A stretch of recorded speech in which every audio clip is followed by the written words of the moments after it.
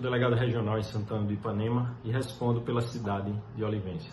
Infelizmente, na manhã do dia de ontem ocorreu um fato lamentável, onde o autor, em posse de arma de fogo, tentou contra a vida de sua ex-companheira e matou a genitora da vítima no seu local de trabalho.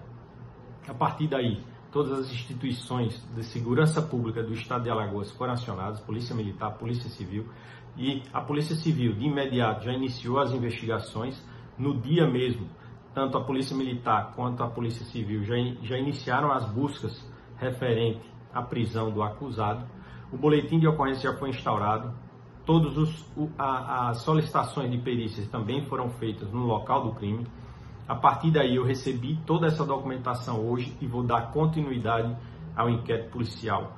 E vamos dar continuidade à oitiva das testemunhas, recebendo os laudos do Instituto de Criminalística do IML, para concluir esse fato o mais rápido possível, com a urgência que o caso requer.